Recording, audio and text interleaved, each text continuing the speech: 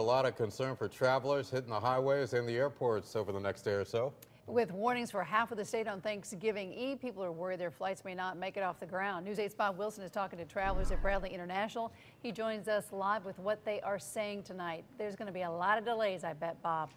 You know, right now people are pretty excited, actually, in good moods. Holiday travelers here. Take a look at the lines. Well oiled machine. Not many people in this line going out. That's a good sign. Easy to catch your plane coming back in. Happy travelers. They beat the storm, all smiles. And it was a long day for some of the travelers, and they were keeping their fingers crossed because some of them had to fly around the storm, through the storm, by the storm.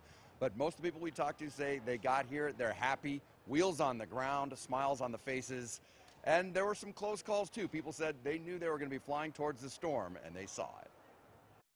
I watched us fly into the nor'easter, like the bank of the cloud. It was the oncoming of the abyss, and it was kind of cool. So you saw it and you said, wow, good thing I'm beating that. Yeah, my brother is traveling in tomorrow from South Carolina. He's going to have it tough. Now, the idea is, is to call the airport or even check in with the airlines to see if you can move your flight up maybe to tonight or first thing in the morning because once that snow starts to fly here, they say they will be open. They have great snow removal. However, the problem is the other airports, the sooner you get out, the better you are. And it's better to spend a half an hour online trying to change your flight than half the day stuck in an airport or on a runway somewhere. Now